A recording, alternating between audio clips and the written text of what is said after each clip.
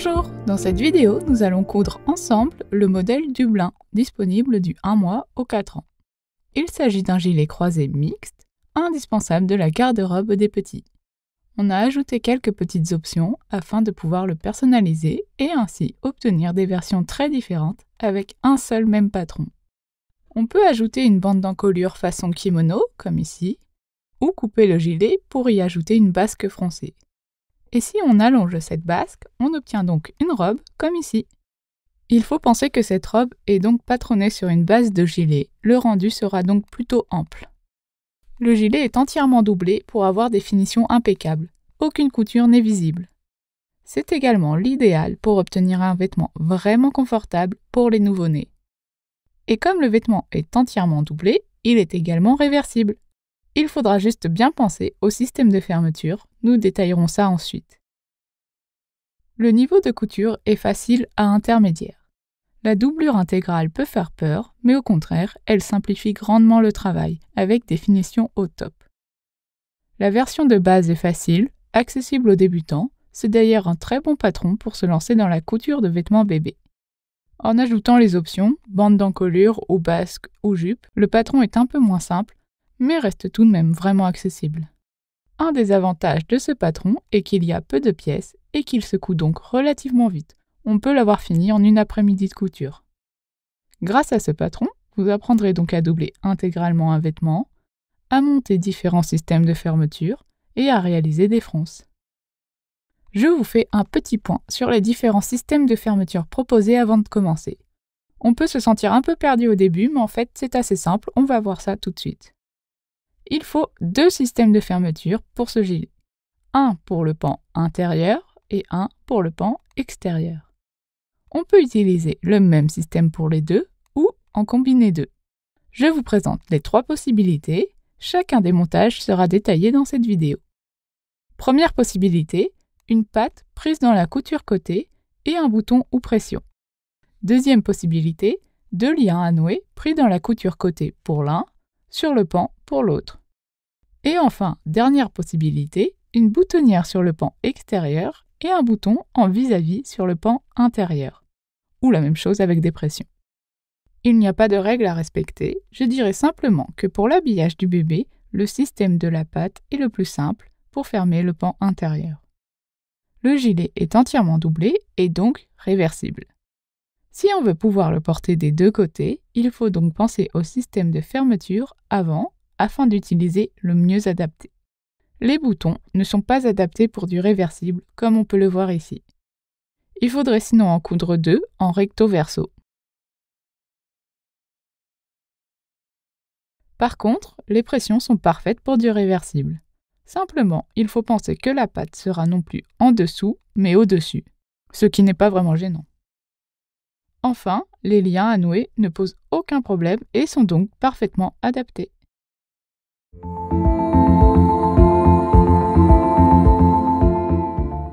Nous avons pensé le patron Dublin de façon à ce que l'on puisse aussi bien le coudre en maille qu'en tissé.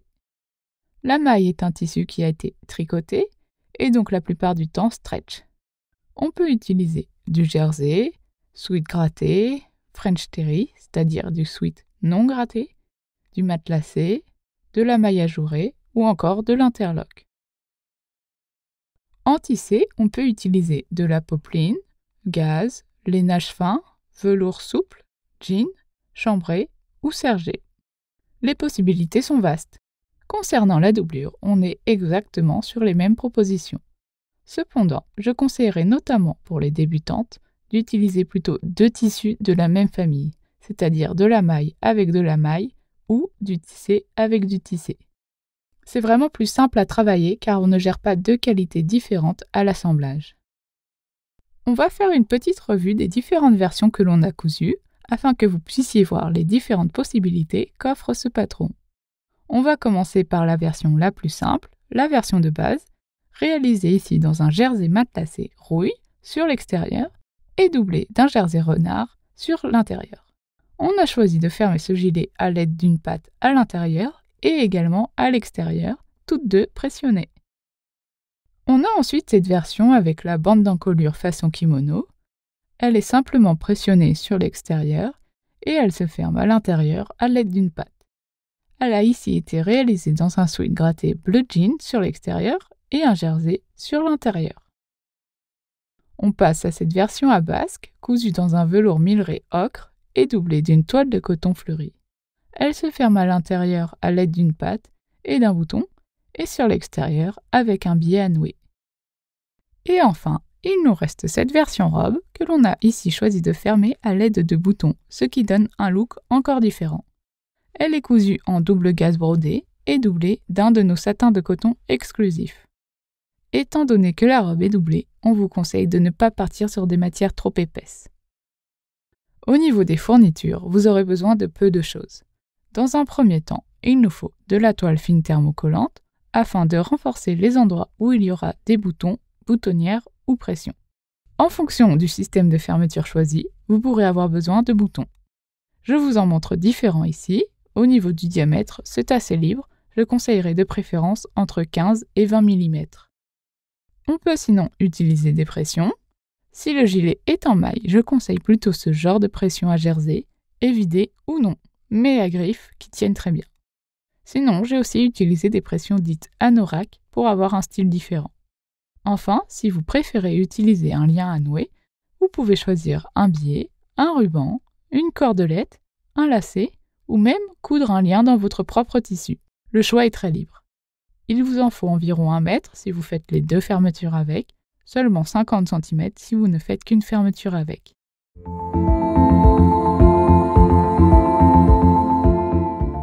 Le gilet peut aussi bien se coudre à la machine à coudre qu'à la surjeteuse. Nous recommandons, mais ça n'est pas obligatoire, l'usage de la machine à coudre pour coudre une version en tissé et l'usage de la surjeteuse pour coudre une version en maille. Étant donné que le vêtement est entièrement doublé, il n'est pas indispensable de réaliser des finitions sur les lisières, c'est-à-dire soit un surjet, soit un zigzag, à moins que votre tissu soit particulièrement fragile et s'effiloche beaucoup. Si l'on utilise la machine à coudre, l'idéal est de réaliser la piqûre à 7 mm des lisières, puis d'ouvrir les coutures au fer après chaque étape.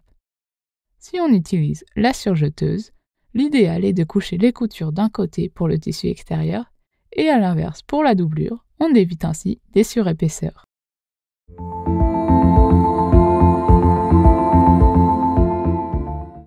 On va commencer par l'entoilage. Si vous utilisez des liens à nouer pour les deux fermetures, alors vous n'avez pas besoin d'entoiler. Ensuite, l'option patte. Les pattes sont faites avec deux pièces pattes cousues ensemble, endroit contre endroit. On va donc entoiler une des deux pièces sur l'envers en évitant les marges de couture pour ne pas avoir de surépaisseur. En fonction de ce que l'on a choisi, on peut donc avoir à entoiler une ou deux pattes. Il faut également entoiler un carré sur les devants au niveau de l'emplacement bouton-boutonnière. En fonction des options de fermeture choisies, il n'est pas forcément nécessaire d'entoiler les deux devant, mais pour faire au plus simple, je préfère entoiler les deux, comme ça je suis certaine de ne pas faire d'erreur. Si l'on choisit l'option bande d'encolure, comme moi ici, alors on entoile ces carrés plutôt au niveau de la bande d'encolure, à l'emplacement bouton-boutonnière. Pour ma version, j'ai également choisi de pressionner simplement mon pan extérieur sur le pan intérieur. Il faut donc que j'ajoute un carré d'entoilage ici, chose que j'ai oublié de faire et dont je me suis aperçu au tout dernier moment. Vous ne le verrez donc pas pendant la vidéo, mais je l'ai bien thermocollé. C'est vraiment important, surtout si comme moi, vous utilisez des pressions. Je vous montre également mon entoilage pour ma version robe, dont les deux pans sont boutonnés. J'entoile 4 carrés sur l'envers des devants aux emplacements indiqués sur le patron.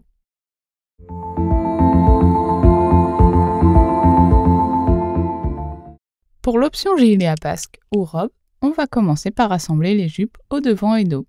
Je vous montre le montage en détail pour le dos seulement, il vous faudra ensuite faire la même chose pour les devants. On réalise deux lignes de fronce sur la lisière haute de la pièce basque ou jupe dos en tissu extérieur, avec un point long et une faible tension de fil. On fait attention à ne pas arrêter les fils en début et fin de piqûre, on divise les lisières hautes en quatre parties égales et on marque par des épingles. Puis on va faire de même avec la pièce dos. On place la pièce basque ou jupe dos endroit contre endroit sur le dos en tissu extérieur en faisant correspondre les épingles. Je tire sur les fils de fronce jusqu'à obtenir une basque ou jupe de la même largeur que le dos, puis je fais un 8 avec mes fils de fronce autour des épingles afin de les bloquer, et ainsi je peux répartir plus précisément mes fronces. On pique à 7 mm. Voilà une fois piqué. Je peux maintenant retirer les fils de fronce.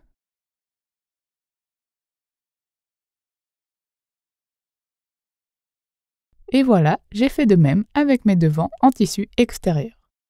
Et on fait également la même chose avec les pièces en doublure.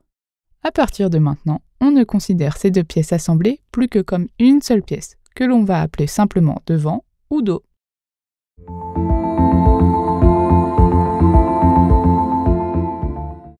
On passe maintenant à la préparation des systèmes de fermeture.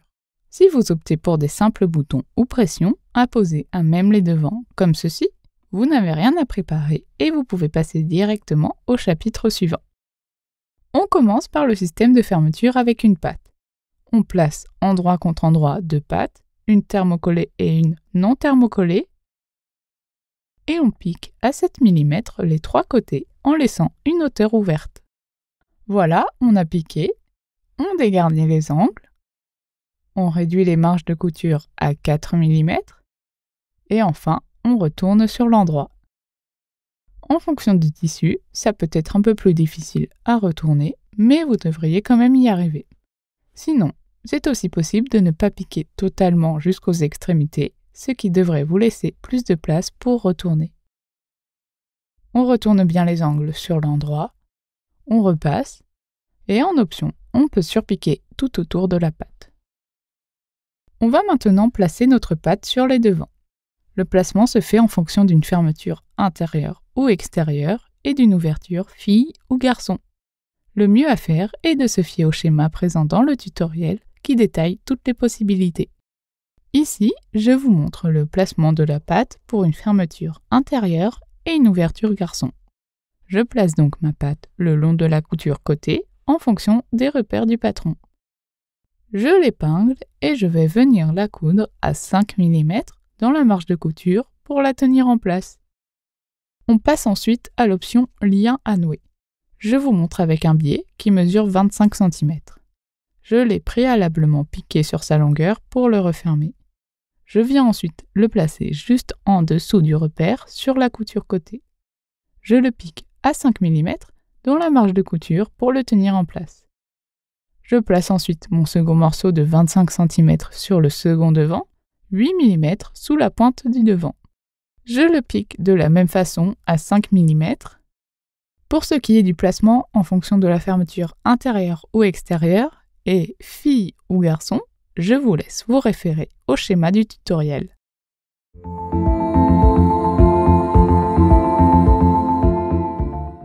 je vais vous montrer l'assemblage du corps ainsi que l'assemblage de la doublure avec une version de base. Pour une version à basque ou jupe, le montage est vraiment identique. On va donc commencer par placer endroit contre endroit les épaules des devants et dos en tissu extérieur et on épingle. On pique à 7 mm. On fait ensuite de même pour les devants et dos en doublure. Avant de continuer, on va s'attarder sur l'option bande d'encolure, qui est à assembler dès maintenant. On place endroit contre endroit les deux bandes d'encolure et on épingle le long de la courbe intérieure et des deux biseaux en faisant correspondre les repères. Ici, j'ai choisi de faire les deux bandes d'encolure en tissu extérieur, mais j'aurais pu aussi en couper une dans le tissu extérieur et une dans la doublure, c'est comme on veut. On va ensuite piquer à 7 mm. Voilà une fois piqué, j'ai choisi de piquer avec la machine à coudre car ça me permet de dégarnir les angles sans problème. Ensuite, on retourne sur l'endroit et on repasse. Voilà une fois bien repassé. En option, on peut surpiquer tout autour. On va ensuite venir l'assembler au corps en tissu extérieur. On place endroit contre endroit la bande d'encolure le long de l'encolure en tissu extérieur en faisant correspondre les repères. Comme on est sur deux courbes inversées, l'épinglage n'est pas forcément aisé. Il va nous falloir déformer un peu la bande et un peu l'encolure. On épingle bien tout du long. Au niveau des extrémités, la bande doit s'arrêter 7 mm avant la lisière. On pique à 5 mm dans la marge de couture. Voilà une fois piqué. On peut rabattre la bande pour voir ce que ça donne, mais ensuite on la remet en place endroit contre endroit sur le corps pour la suite de l'assemblage. On va maintenant assembler les manches. On place endroit contre endroit le haut des manches sur les emmanchures en tissu extérieur, en commençant par le milieu de la tête de manche qui doit être aligné à la couture épaule. Je viens ensuite aligner les doubles repères devant, puis je termine l'épinglage de ce côté. J'aligne ensuite les repères dos et je termine l'épinglage. On pique à 7 mm. On répète sur la doublure que je vous montre ici. Je vous fais un petit focus sur l'embut de la manche. Il y a un léger embut sur la tête de manche, c'est normal, ça lui donne un plus joli tombé.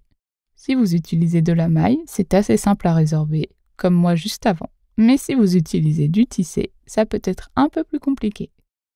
Normalement, on arrive à le résorber avec le doigt et grâce à l'épinglage. Je vous montre ici comment je fais. L'embut se situe entre les repères devant et dos. En épinglant, je fais en sorte de mettre un petit peu plus de tissu de la manche que du corps. Ça nous crée une petite vague comme ceci. Si on écrase cette vague, le tissu bouge, mais ne forme pas de pli. On a ainsi résorbé l'embut, mais on est certain de ne pas piquer de pli. Si en l'écrasant on voit un pli qui se forme, alors il y a trop de tissu de manche et il faut revoir l'épinglage. Voilà, une fois fini d'épingler, je vous montre. On voit bien les petites vagues que crée le tissu de la manche. Le dernier point important est de piquer avec le tissu du corps face à vous et le tissu des manches contre la machine. Ainsi, l'embut se résorbe plus facilement. Si vraiment vous n'arrivez pas à le résorber, il est possible de passer un fil de fronce entre les repères devant et dos. Je vous montre une fois la manche cousue avec l'embut on voit bien qu'il n'y a pas de pli sur la manche, mais sur l'endroit, elle a un léger gonflant qui lui donne un beau tombé. Une fois les manches assemblées, on va fermer les dessous de manches et les côtés. On épingle endroit contre endroit les dessous de manches et les côtés du corps en tissu extérieur. Je commence par aligner les coutures des manches en couchant les marches de couture d'un côté et de l'autre pour éviter des surépaisseurs.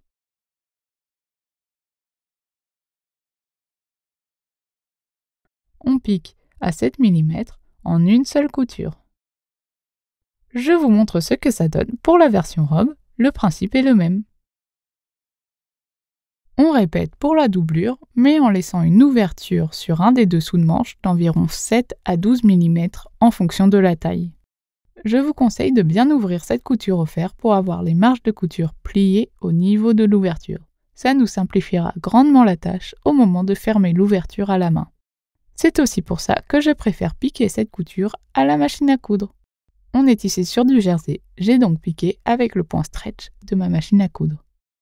Si on a choisi l'option patte ou lien, celui-ci est donc bien pris en même temps dans la couture.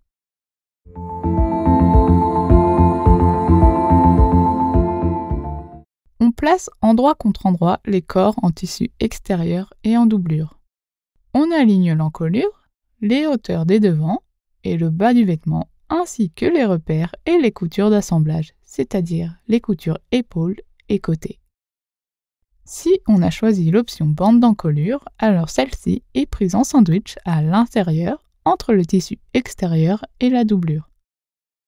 Si l'on a choisi l'option lien à nouer, ils sont également pris en sandwich entre les deux épaisseurs. Je vous donne ici un conseil pour l'assemblage de vos deux tissus si vous avez choisi un tissu extérieur et une doublure dans deux tissus différents. Il vaut mieux mettre le tissu le plus élastique contre la machine côté canette et le tissu le plus rigide vers vous côté aiguille. Ainsi, vous éviterez de vous retrouver avec un gros décalage à la fin de votre couture qui créerait un pli disgracieux. Par exemple, pour moi, ici, je vais coudre plutôt avec le sweat face à moi et le jersey face machine. On pique à 7 mm les deux épaisseurs tout du long, mais les manches, elles, ne sont pas prises dans la couture. On passe maintenant à l'assemblage des manches. On va attraper les deux manches en tissu extérieur et doublure en verre visible. On les rapproche en alignant les coutures des dessous de manches et en s'assurant surtout qu'aucune des manches n'est vrillée. On place endroit contre endroit les bas de manches en alignant les coutures des dessous de manches. On place la première épingle à ce niveau. Puis je vous donne ma technique. Moi j'aime bien positionner mes manches ainsi, avec une manche repliée et l'autre qui vient tout autour. Je trouve ça plus simple pour bien répartir le tissu lors de l'épinglage.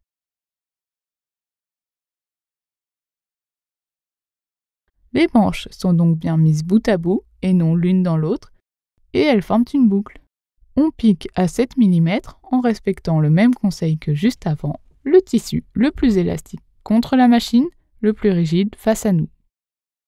Voilà une fois assemblé, on répète pour l'autre manche.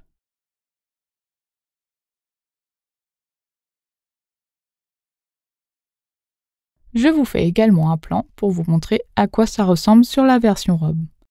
La longueur et la largeur est un peu plus importante, mais sinon le montage est identique. On dégarnit les angles. On va maintenant retourner le vêtement sur l'endroit en le passant par l'ouverture laissée dans un dessous de manche doublure. Je préfère vous prévenir, au début, on se demande vraiment ce que l'on est en train de faire. On dirait juste un sac de nœuds. Mais voilà, une fois entièrement retourné, c'est un peu magique tout se remet dans le bon ordre et on découvre notre vêtement. On prend soin de bien retourner les angles sur l'endroit. Et là, je vais prendre le temps de bien repasser mon vêtement et je vous le montre juste après. Voilà une fois repassé. En option, on peut surpiquer tout le tour pour maintenir les deux épaisseurs bien en place. Il nous reste encore à refermer l'ouverture laissée dans un des dessous de manches doublure. On pourrait le faire en superposant les marges sur quelques millimètres et en piquant à la machine comme ceci. Mais moi, personnellement, je trouve ça un peu dommage d'avoir passé du temps à coudre un beau vêtement entièrement doublé et de ne pas prendre le temps de bien finir la dernière étape. En plus, en faisant cette technique, le gilet n'est plus réversible. Je vous propose donc plutôt de réaliser cette dernière étape à la main avec une couture invisible. Ce n'est pas très long à faire et c'est impeccable.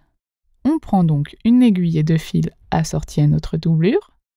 Le principe de la couture invisible est de venir piquer exactement en face de là où on sort notre aiguille. En fait, c'est comme si on dessinait des créneaux avec notre aiguille. On sort donc exactement au niveau du pli et on pique en face au niveau du pli également. C'est là où l'on comprend l'intérêt d'avoir bien repassé nos marges de couture ouvertes au préalable. On obtient un résultat bien net. On ne tire pas trop sur notre fil, sinon ça marque le tissu,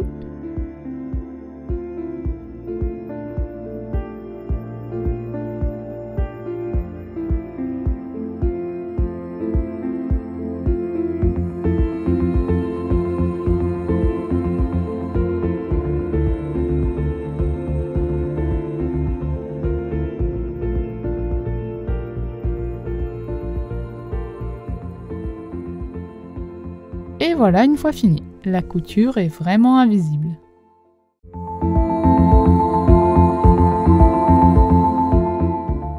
Si l'on avait choisi l'option lien à nouer, et en fonction du lien, il peut être nécessaire de réaliser une finition au bout. Je vous montre ici sur mon biais. Je vais effectuer deux rentrées et je pique. Pour l'option patte, il ne reste plus qu'à coudre le bouton sur la patte et broder la boutonnière sur le devant en vis-à-vis. Ou alors, on peut poser des pressions, comme moi ici. La partie mâle est sur la patte, la partie femelle sur le devant. Si vous préférez utiliser simplement des boutons, il faut broder les boutonnières sur le pan extérieur comme ceci.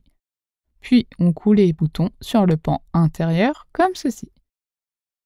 Pour les pressions, le principe est identique, les pressions mâles sont sur le pan intérieur, les pressions femelles sur le pan extérieur. On pense à bien vérifier le croisement des devants en fonction d'une ouverture fille ou garçon. Ici, la robe est avec une ouverture fille, le gilet avec une ouverture garçon. Et voilà, votre vêtement est terminé. On espère que cette vidéo vous a été utile. On a essayé de faire quelque chose de très détaillé avec plein d'astuces pour que ce soit vraiment accessible aux débutants et que vous ne vous posiez aucune question. Bonne couture